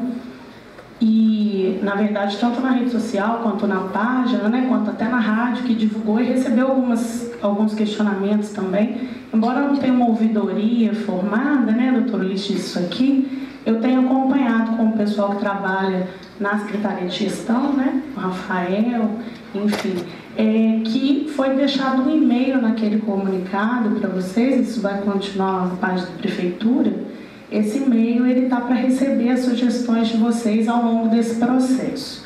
O que, que é importante a gente esclarecer? Para a licitação, é, a gente teve algumas questões aqui de fala que são bem marcantes, né? A Ângela apontou algumas questões muito interessantes aqui já no começo da fala dela.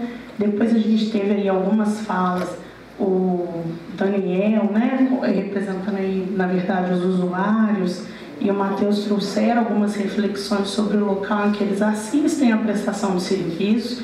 E a gente acabou tendo também a fala do Luiz Henrique, que é um pouco mais técnico, porque ele já está mais envolvido, vamos dizer assim, como profissional da área que conhece a questão urbana, é, em relação à participação no Conselho de Desenvolvimento Urbano. O que, que acontece com esse momento agora do processo licitatório?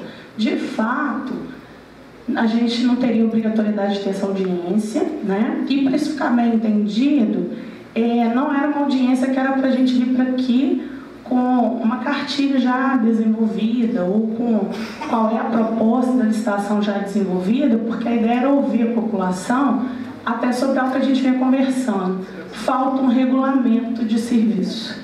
Esse serviço foi listado há 15 anos atrás, sem uma conversa como essa com a população. E esse é um erro que a administração atual não quer cometer.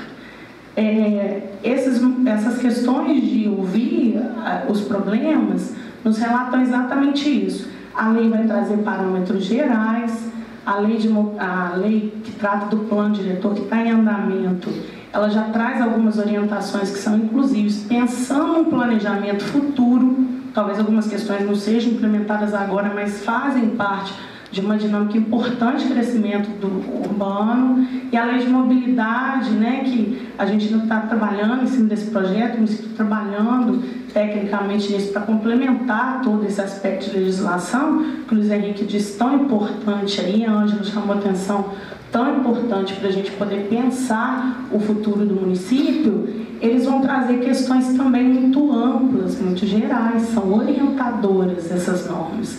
Então, se não tiver um regulamento de serviço que estabelece, por exemplo, qual a periodicidade desses veículos, quais os critérios para se ter ou não se ter um cobrador, qual a questão relacionada ao meio de comunicação do usuário do serviço para poder trazer reclamação para a prefeitura, porque a reclamação na empresa ela é muito boa, porque é, o pessoal da empresa recebendo, né, lá na Tretu, vai encaminhar esses atendimentos.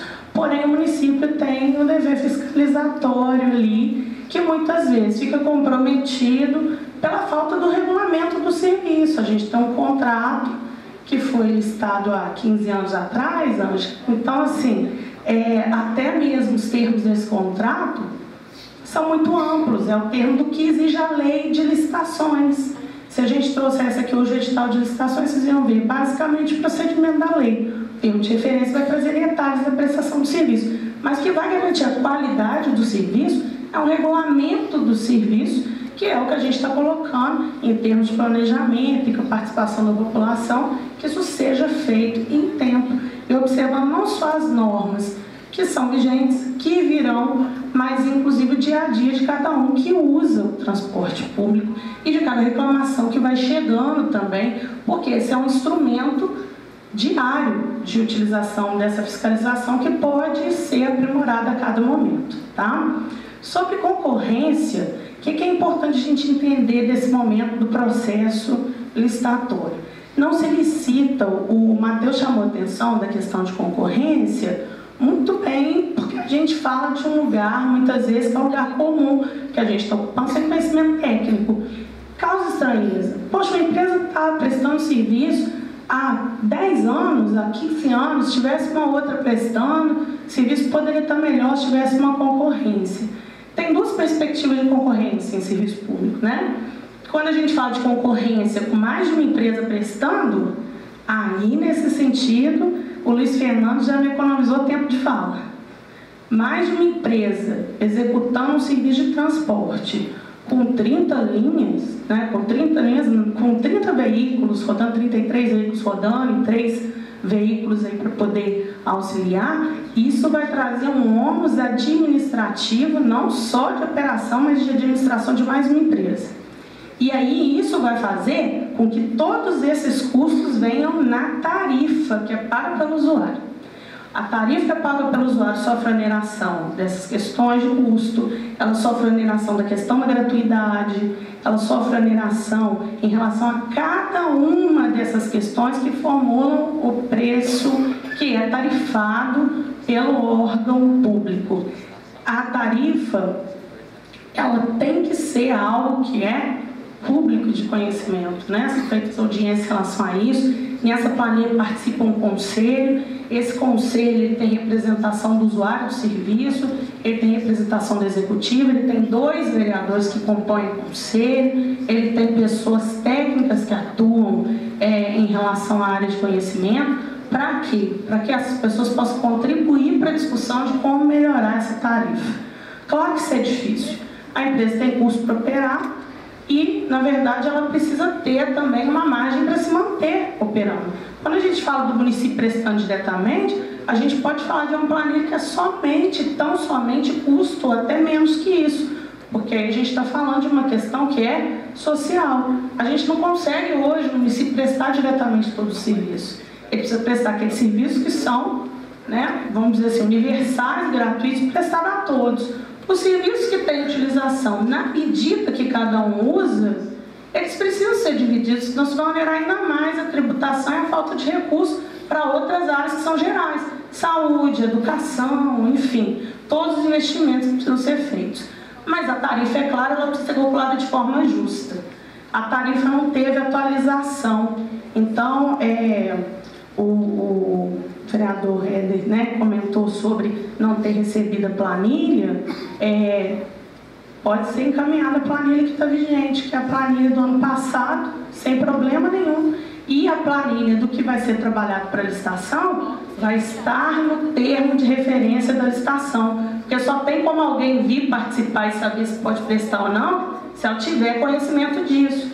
Quantas linhas, quais itinerários, Ângela, que você colocou, isso vai estar no termo de referência da licitação. Quantos ônibus tem que rodar, quantos tem que estar é, reservados para poder atender essa questão emergencial. A Trek Tour, gente, ela hoje é a empresa que está atendendo o município. É uma empresa do município, que atua no município, né? que é sediada aqui. Quando a gente fala de concorrência, não é de ter mais de uma empresa prestando, porque mais de uma empresa prestando pode ser pior no custo, sobretudo para quem mora distante, precisa de usar mais aí o transporte. Mas o que a gente precisa de concorrência no serviço público é de que qualquer empresa no Brasil que queira prestar serviços aqui em Três Corações venha presente a sua proposta. E se a dela for melhor do que a da Trek Tour, essa empresa saia vencedora, vamos dizer assim, do procedimento. Então a Trectu vai concorrer como qualquer outra empresa. E os termos têm que ser técnicos para que haja viabilidade de ampla competição sobre esse objeto. É isso que o município começa a fazer, tá? É, a demora, vamos dizer assim, né, não ter feito esse procedimento antes, até em virtude de ter que levantar questões para poder trabalhar o plano de mobilidade urbana, para poder trabalhar o plano diretor. A Ângela chegou a colocar aqui, né? Também o vereador Eber falou sobre essa questão de, de repente, não é o melhor momento para a gente fazer a licitação, né? Mas terá, né? Isso seria possível de qualquer maneira. O que vai acontecer é que, sobrevindo o plano de mobilidade, a gente vai ter que pedir uma prorrogação aí de algum tempo, né, de alguns meses, ou de alguns, vamos dizer, alguns meses, porque só para poder divulgar a concorrência de 45 dias, mas é uma situação assim, assim que acabar de licitar, a nova empresa é, atua, né, assume, e se por acaso for que vencedor, ela vai assumir um contrato novo. Então, as condições que ela vai assumir o contrato não são só mais as que estão em linhas gerais no contrato, são aquelas que estão ali, são as que estão no termo de referência, são as do regulamento de serviço que vai ser feito e as questões futuras de adequação do espaço urbano mesmo, que vão vir na lei de mobilidade, que vão vir é, na lei que vai tratar e que está tramitando, né, para tratar do plano diretor. Então, essas coisas vão sendo alinhadas. Hoje é um primeiro momento de espaço de participação. E o que a gente percebe é que muitas questões de problemas, duas que, me, né, que, que foram mais colocadas, é a questão da tarifa, que é preciso realmente essa transparência mas esses dados são públicos, eu acho que precisa mais da gente se apropriar desses espaços de debate para conseguir trazer contribuição e fazer o nosso papel de cidadão. Eu estava é, comentando com o Rafael quanto me alegra quando um munícipe pega o microfone e vem aqui na frente fazer seu relato, né? O técnico vir aqui falar pode ser esclarecedor, mas aquele que o serviço falar é algo que realmente traz, até para quem é da empresa prestadora, eu tenho certeza que nesse período ainda que a empresa vai ficar executando o contrato, vai sair daqui pensando em algum canal de comunicação para tentar atender essas demandas. Isso é importante.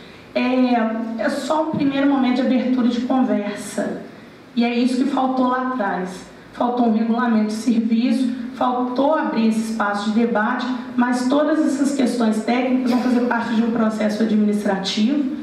O edital vai ser publicado com antecedente de 45 dias da abertura da licitação, que é o prazo para que as empresas tenham para poder apresentar suas propostas.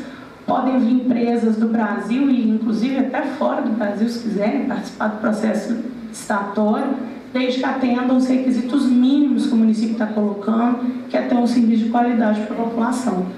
A gente coloca o requisito e a gente coloca o requisito pensando sempre na tarifa.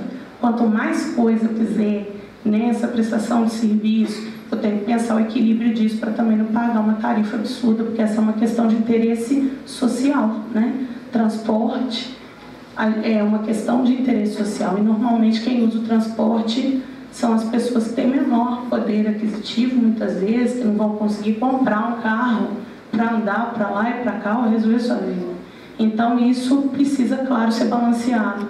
Mas, quando a gente pensa tarifa, a gente também tem que pensar que as melhorias do serviço são essenciais e até que ponto elas comprometem a tarifa para quem usa não conseguir pagar. Até quando uma gratuidade que a gente tem, uma falta de fiscalização em relação a uma gratuidade, né, como dito pelo, pelo, pelo vereador Éder, é, é necessário fiscalizar bem para que ninguém pague mais do que seja necessário para ter um bom serviço, mas ao mesmo tempo que a empresa consiga permanecer em pé, pagar seus funcionários, investir em frota nova, investir em tecnologia, né? É sempre uma, uma, dinâmica difícil mesmo. Nunca a gente vai ter o serviço público atendendo a integralidade de todas as demandas ou tudo aquilo que a gente espera ou precisa. A gente sempre quer mais, o Estado, o Estado sempre tem o dever de prestar mais, mas tem que equilibrar essas questões todas. E aí é importante a gente, nesse momento de debate, a gente deixar um pouquinho de lado a questão é, político, partidária, vamos dizer assim, no sentido de de repente se colocar como um, lá, né, um opositor, um inimigo da administração, o espaço é de contribuição e todo mundo pode contribuir. Eu tenho certeza que os vereadores que falaram aqui é, têm interesse que o serviço seja prestado da melhor forma possível, como qualquer vereador de qualquer partido, eles estão representando o povo. Assim como o município também tem esse interesse, porque ninguém né? Eu não acredito que ninguém se candidata a um cargo para poder também só ter um, um, feedback, um feedback negativo daquilo que foi demandado. Se propõe a fazer algo importante que marque o município, que inclusive tem uma vida política pela frente. a gente, é isso que a gente espera. É só uma abertura de momento para conversa para dizer, a gente abre um espaço para que cheguem propostas de todos os lados do Brasil inteiro para participar do processo licitatório. Se a Trectur novamente se sagra vencedora do procedimento, é uma empresa daqui. E isso pode ser bom para o município a partir do momento que os critérios de execução sejam os critérios técnicos, a qualidade do serviço seja efetivamente fiscalizada. Mas eu tenho certeza que a preocupação, de repente, com uma empresa que, do município que já está prestando, com inclusive o quadro que está hoje trabalhando nela, é muito maior uma empresa que vai começar a executar.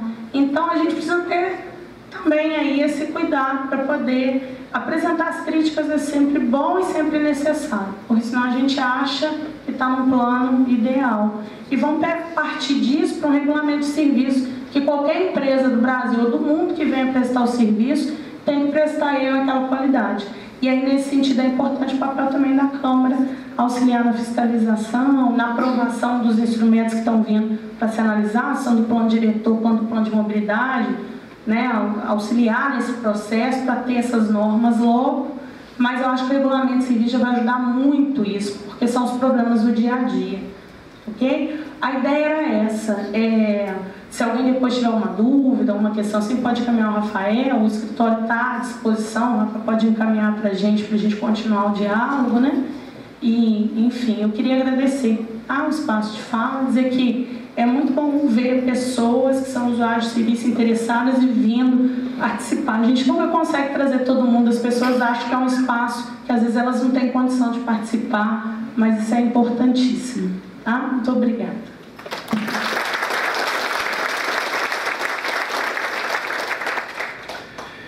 É, bom, encerrando, percebo que hoje nessa audiência pública a gente teve um, uma quantidade de pessoas muito maior, quem participa bastante das audiências públicas, tem pessoas que são mais assíduas nas, nas audiências públicas, elas percebem isso.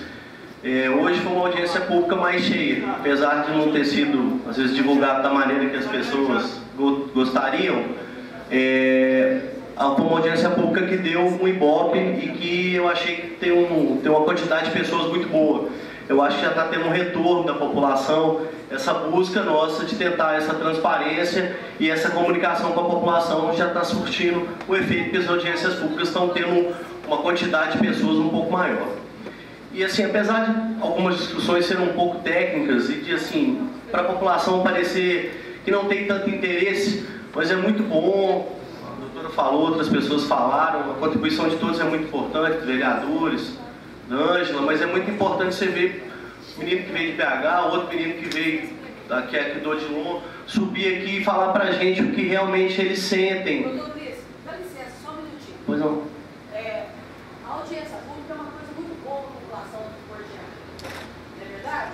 Só que é o seguinte, as, as pessoas de baixa renda, é, autônomos, pessoas trabalhadores de chata, eles não têm condição de vir, porque se eles virem de ônibus, é uma, uma passagem de ida e volta. Eles vão comer o que de manhã? Não tem nem sombra de fubá direito. Eles passam dificuldade. Eu ando a canto a canto de estações, conheço todos os pedaços de estações, no município e fora do município. A pobreza é demais. Eles mal eles estão tendo que comer. Então, se eles virem uma audiência pública aqui na Câmara Municipal, vem com o maior prazer. E para voltar? Para voltar a pé? Tá, mas eu não, não entendi o então, que, que você quer. Eu quero chegar no nível. Essa Por favor. Eu fiquei sabendo, por um acaso, lá no Cristo, pelo vereador Verbinho. Uhum. Me convidou eu vim. Eu moro na Santa Teresa, está aqui, está perto de mim. Mas eu acho que essa audiência pública tinha que ter os cartazes no ônibus da avisando a população de Portiano. Tinha que a rede pública. Tá certo. criticar a administração nem da Prefeitura Municipal e nem da Câmara Municipal. Eu estou aqui para somar, não para dividir. Não sou inimiga de Eu agradeço. Você entendeu? Só que é o seguinte, você vai atrás de, uma, uma pessoa graduada da Prefeitura, ah, tudo bem, vou resolver o seu problema. Eu sou considerada da Prefeitura Municipal de Administrações como inimiga da Prefeitura. Não sou inimiga da Prefeitura. Eu eu tenho que falar, eu tenho que falar na cara. Entendeu? Só que a população tem que sair de cima do muro e, e lutar com a gente. A cidade tem que desenvolver, tem que crescer, porque nós precisamos de saúde, educação e serviço. Né? Mas o as, povo paga as, pra as entidades que tinha aqui, tirando tipo, criança da rua, tem várias crianças pedindo na rua e pessoas drogadas pedindo na rua, porque não tem emprego. Por que que Varginha, Pouso Alegre, lá... Ilza, eu agradeço muito a sua, muito a sua contribuição, mas assim, eu vou ter que. Vocês tinham que fazer um cartaz e colocar... Eu entendi. Na próxima vez a gente vai procurar fazer isso. Eu agradeço a sua sugestão. Abrir essa exceção em consideração eu tenho por você, você sabe disso. Senão não daria essa oportunidade para você. Então, finalizando, a próxima vamos tentar fazer mas com uma, uma divulgação maior do que foi feito nessa. Pode deixar. Então, finalizando, eu acho que é muito importante ouvir pessoas que vieram do Odilon, outro moço que veio de Belo Horizonte, está dois anos aqui com a gente, por quê? Porque são essas pessoas que realmente utilizam o serviço. E essas, sim, e essas as pessoas que vão poder falar para a gente efetivamente o que precisa mudar, o que, que é bom e o que, que é ruim. O restante das questões são questões técnicas que o jurídico vai ajudar a resolver, os engenheiros vão resolver, o pessoal da Câmara vai dar a opinião deles e a gente vai conseguir chegar numa conclusão. Mas a, o interesse nosso nessa audiência pública era isso, que as pessoas viessem e dessem as suas opiniões e dissessem para a gente o que é bom e o que precisava mudar. Eu acho que de certa forma a gente conseguiu, talvez não na amplitude que alguns gostariam, mas foi feito o melhor que a gente pôde fazer. Eu gostaria de agradecer a presença de todos e convidá-los para uma próxima oportunidade. A Prefeitura está de portas abertas, a licitação deve demorar ainda uns 60 dias, porque, salvo engano, a publicação requer 45 dias, porque é uma concorrência, então a gente deve demorar ainda uns 60 dias. Nesse período, a Prefeitura está de portas abertas para vocês, para qualquer dúvida ou qualquer sugestão. Tá joia? Uma boa noite, um bom final de semana a todos.